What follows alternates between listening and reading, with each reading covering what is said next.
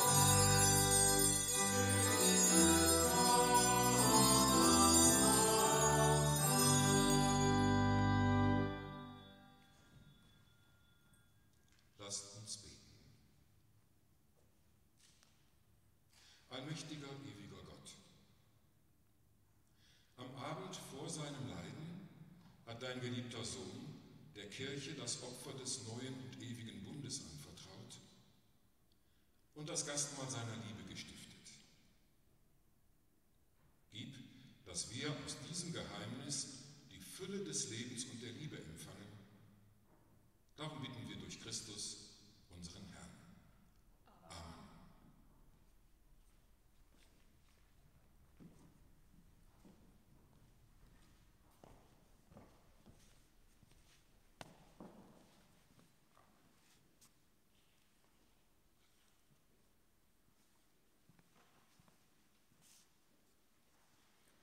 Lesung aus dem Buch Exodus.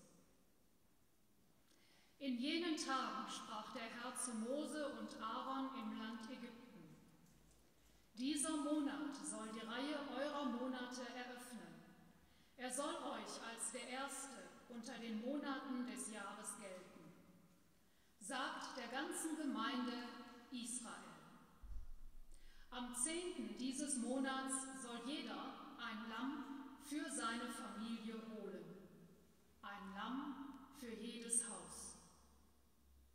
Ist die Hausgemeinschaft für ein Lamm zu klein, so nehme er es zusammen mit dem Nachbarn, der seinem Haus am nächsten wohnt, nach der Anzahl der Personen.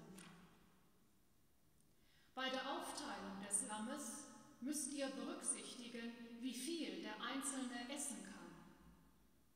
Nur ein fehlerfreies, männliches, einjähriges Lamm darf es sein.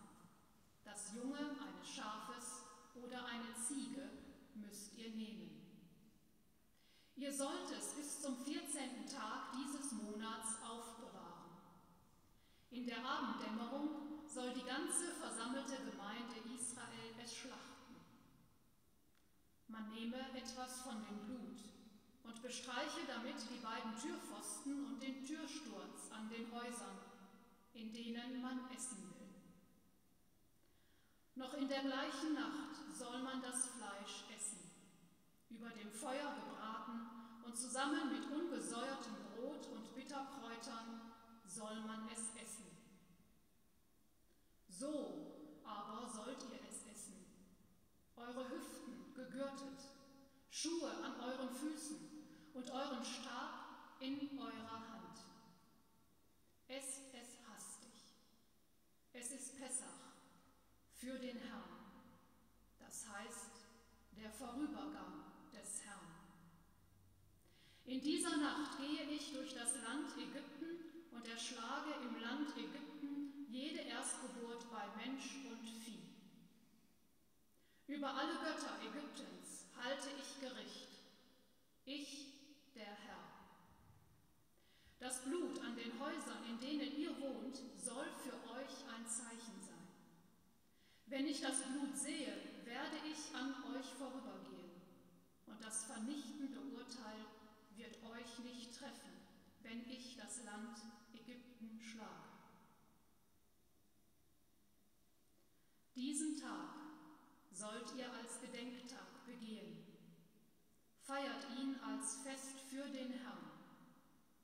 Für eure kommenden Generationen wird es eine ewige Satzung sein, das Fest zu feiern. Wort des lebendigen Gottes.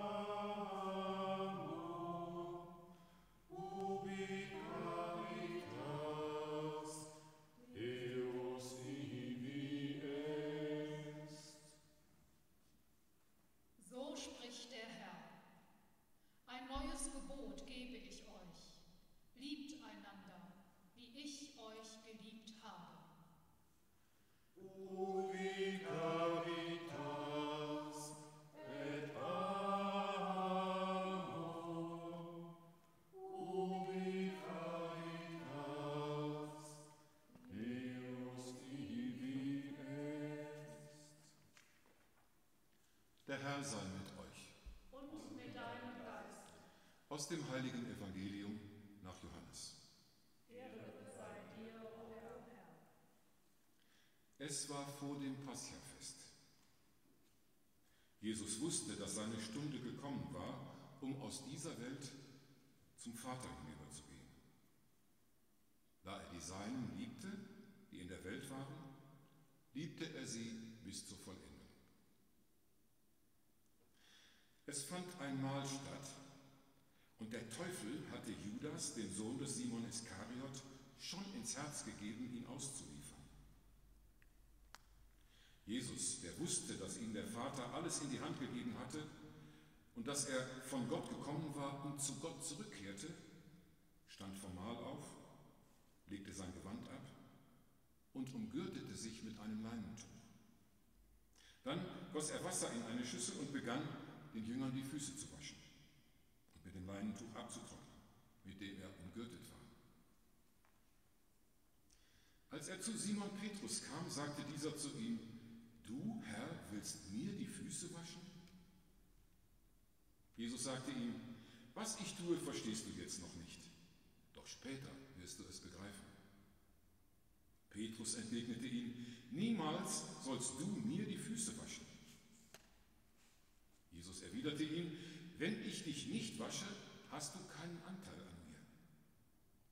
Da sagte Simon Petrus zu ihm, Herr, dann nicht nur meine Füße, sondern auch die Hände und den Kopf. Jesus sagte zu ihm, wer vom Bad kommt, ist ganz rein und braucht sich nur noch die Füße zu waschen. Auch ihr seid rein, aber nicht alle. Er wusste nämlich, wer ihn ausliefern würde, darum sagte er, ihr seid nicht alle rein. Als er ihm die Füße gewaschen, sein Gewand wieder angelegt und Platz genommen hatte, sagte er zu ihnen, begreift ihr, was ich an euch getan habe? Ihr sagt zu mir Meister und Herr, und ihr nennt mich mit Recht so, denn ich bin es. Wenn nun ich, der Herr und Meister, euch die Füße gewaschen habe, dann müsst auch ihr einander die Füße waschen. Ich habe euch ein Beispiel gegeben, damit auch ihr so handelt, wie ich an euch gehandelt habe. Evangelium unseres Herrn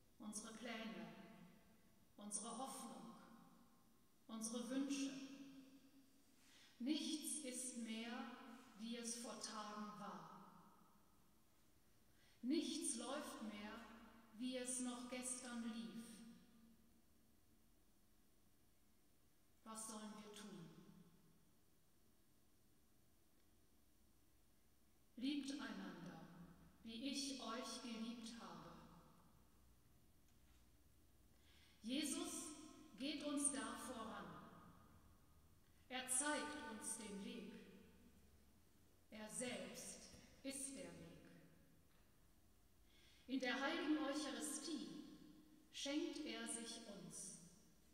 Er gibt sein Leben hin, um uns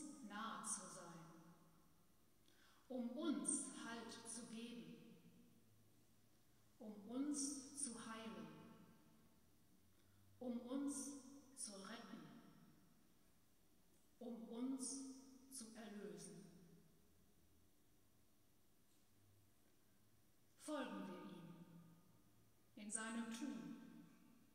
Öffnen wir unser Herz für sein Handeln.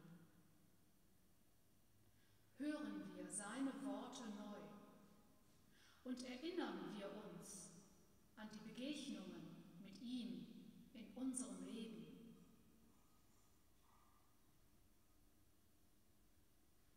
Feiern wir gemeinsam.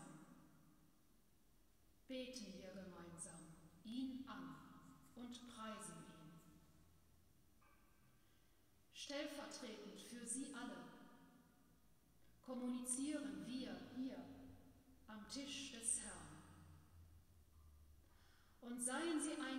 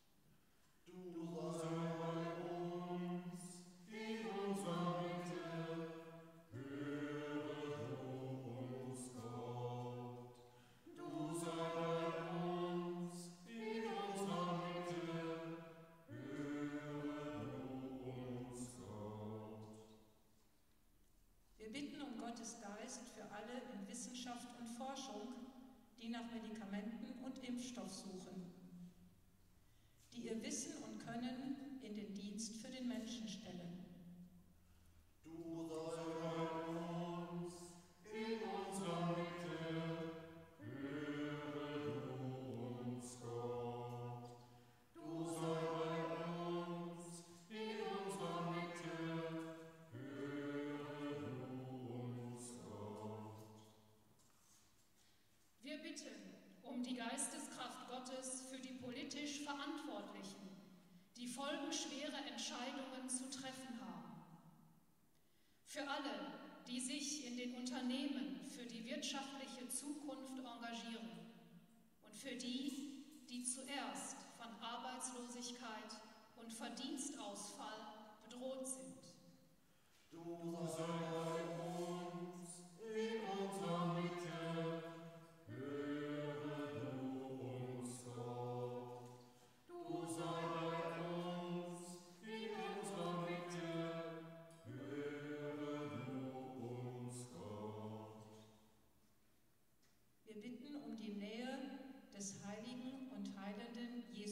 Nazareth für die, die in den Krankenzimmern einsam sind und auf den Intensivstationen leiden. Und für alle, die ohne einen lieben Menschen an ihrer Seite aus dem Leben gehen. Und für alle, die während dieser Pandemien schon gestorben sind. Du sei bei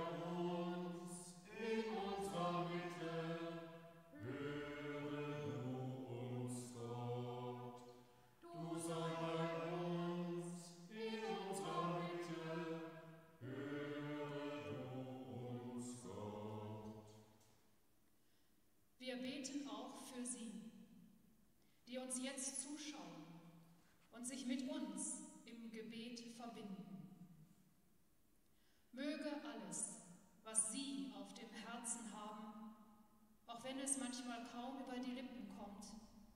Bei Gott Gehör finden. Du sollst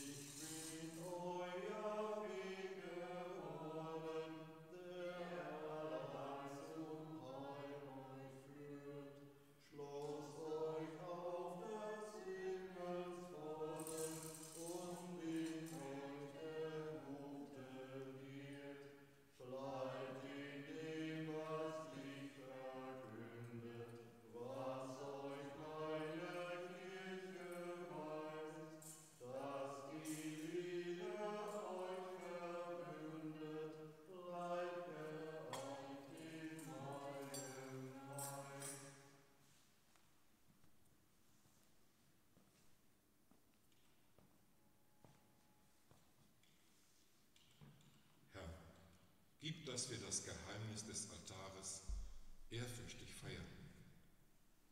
Denn so oft wir die Gedächtnisfeier dieses Opfers begehen, vollzieht sich ja an uns das Werk der Erlösung.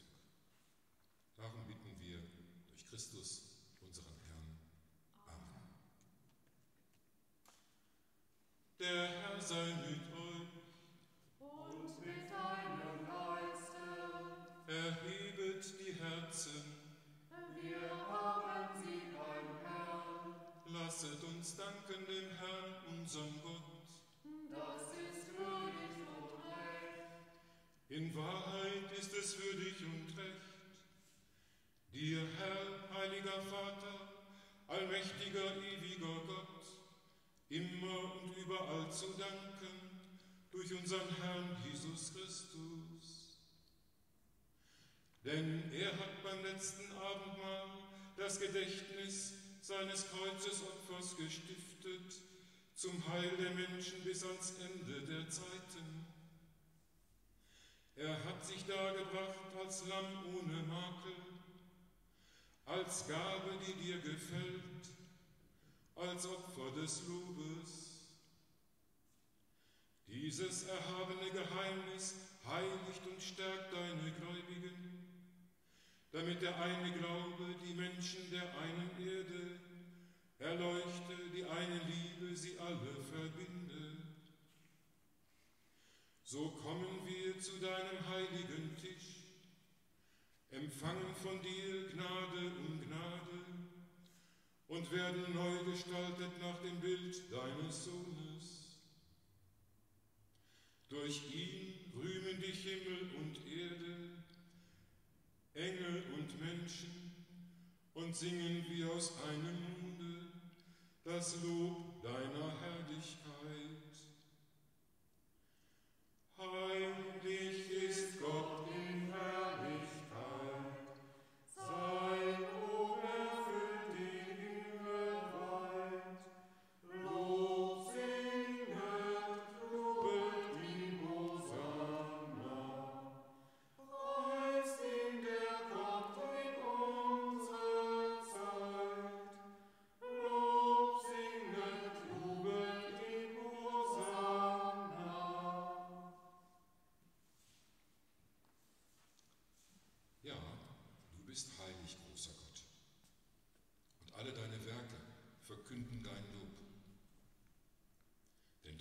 deinen Sohn, unseren Herrn Jesus Christus, und in der Kraft des Heiligen Geistes erfüllst du die ganze Schöpfung mit Leben und Gnade.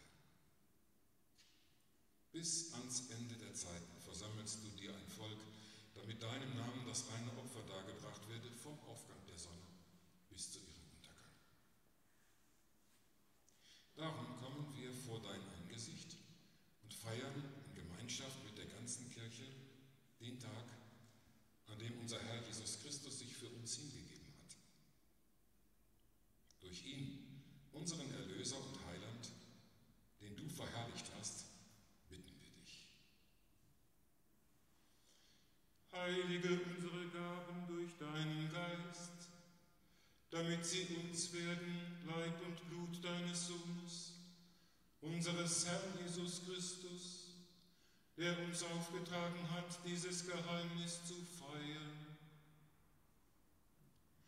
Denn in der Nacht, da er verraten wurde, das ist heute, nahm er das Brot und sagte dann, brach es, reichte es seinen Jüngern und sprach, Nehmet und esset alle davon, das ist mein Leib, der für euch hingegeben wird.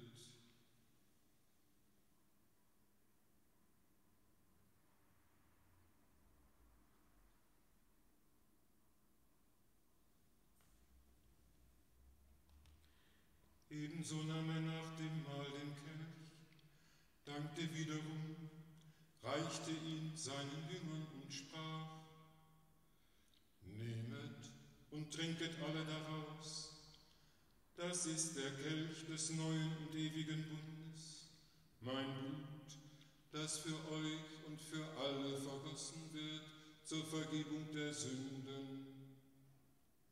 Tut dies zu meinem Gedächtnis.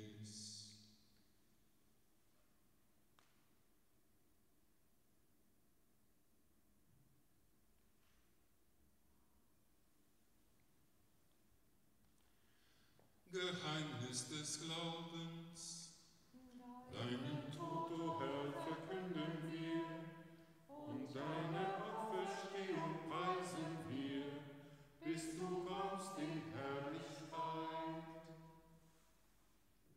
Darum, gütiger Vater, feiern wir das Gedächtnis deines Sohnes. Wir verkünden sein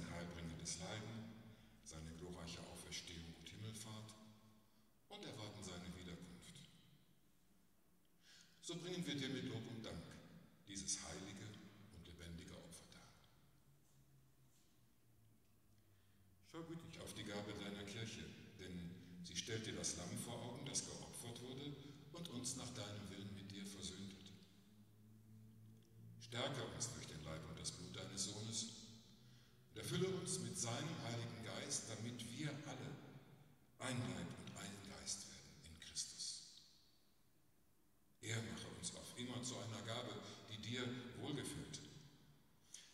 verheißene Erbe erlangen mit deinen Auserwählten, mit der seligen Jungfrau und Gottesmutter Maria, mit dem heiligen Josef, mit deinen Aposteln und Märtyrern und mit allen Heiligen, auf deren Fürsprache wir vertrauen. Barmherziger Gott, wir bitten dich, dieses Opfer unserer Versöhnung bringe der ganzen Welt Frieden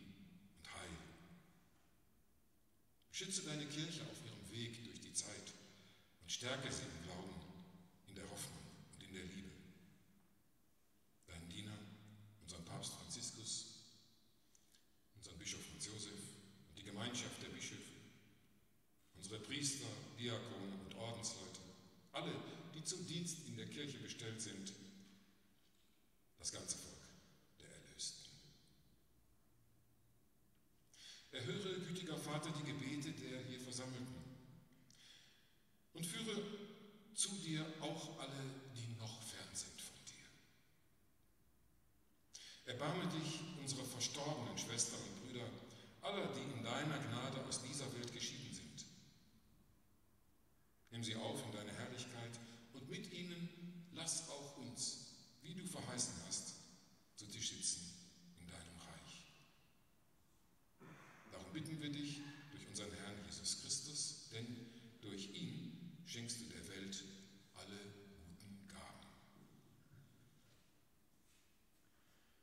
durch ihn und mit ihm und in ihm, ist dir Gott, der mächtiger Vater, in der Einheit des Heiligen Geistes, alle Herrlichkeit und Ehre, jetzt und in Ewigkeit. Amen.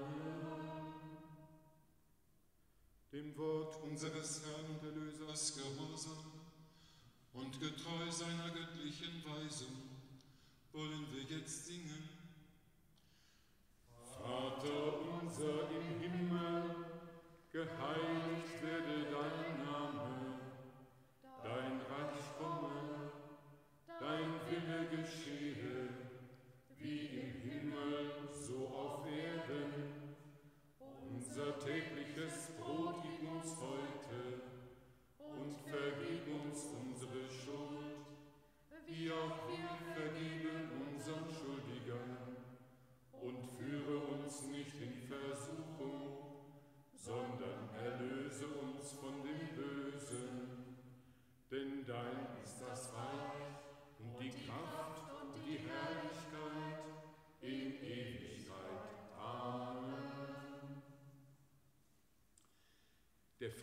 Herrn sei allezeit mit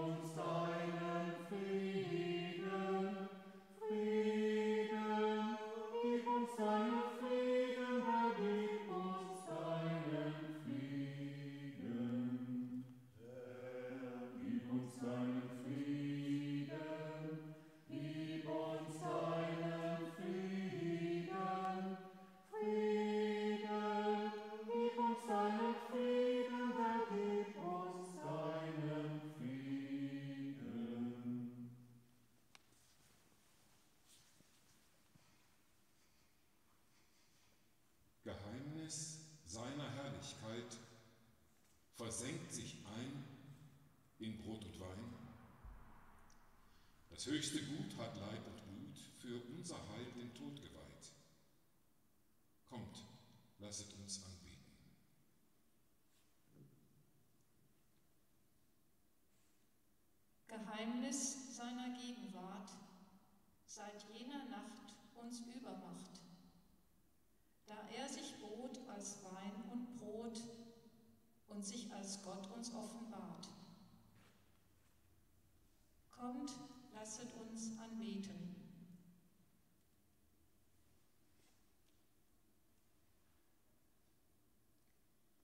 Geheimnis der Dreifaltigkeit, das einverleibt in uns verbleibt und Leben heißt und Glut und Geist und Auferstehung uns verleiht.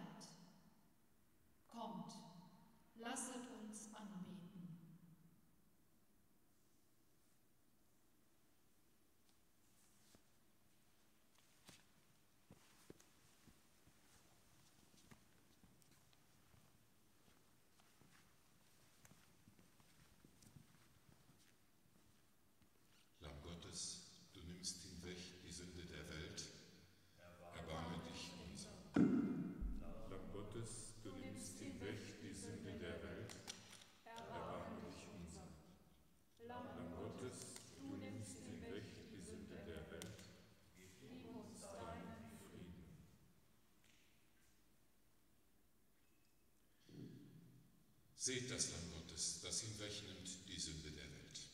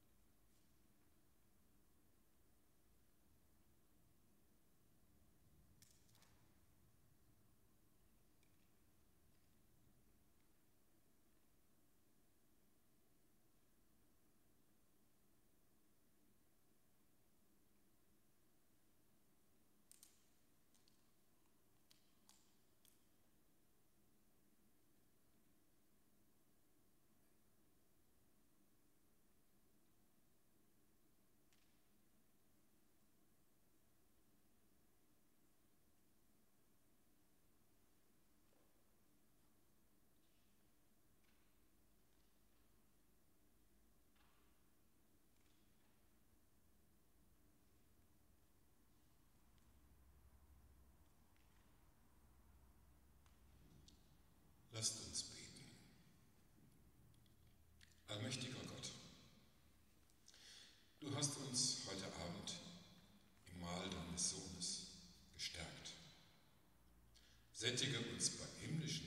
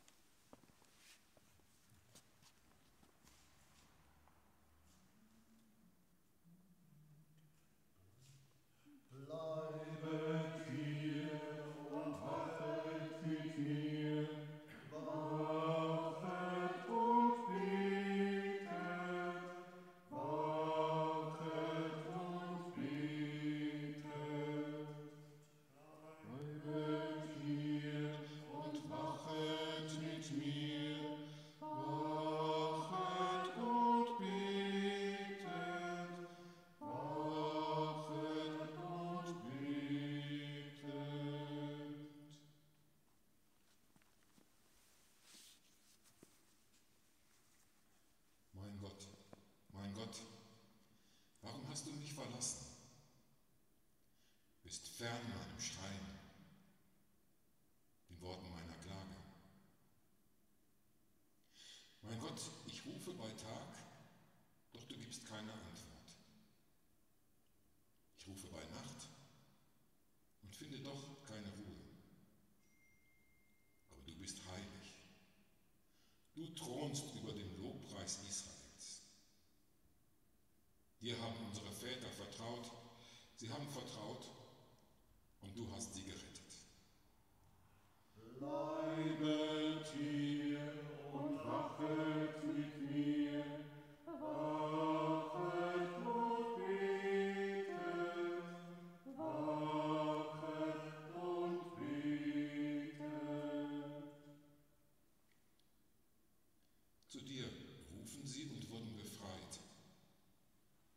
dir vertrauten.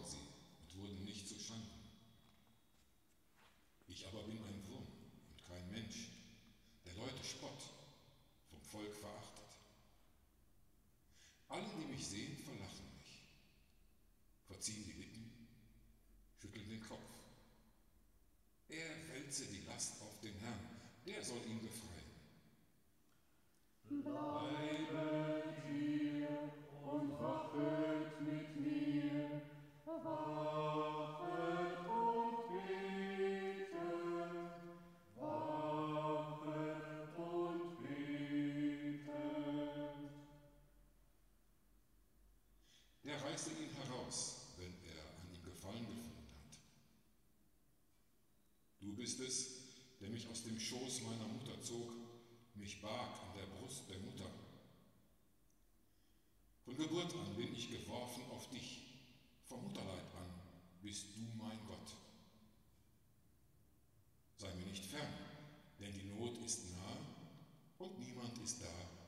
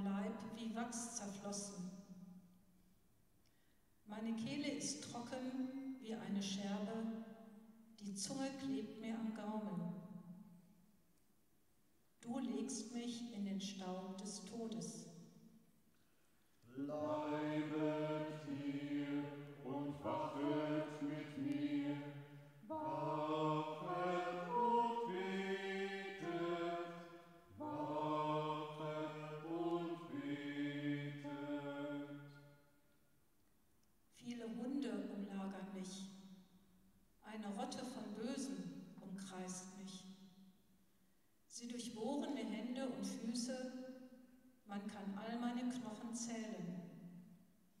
Sie gaffen und weiden sich an mir. Du aber, Herr, halte dich nicht fern. Du, meine Stärke, eile mir zu Hilfe.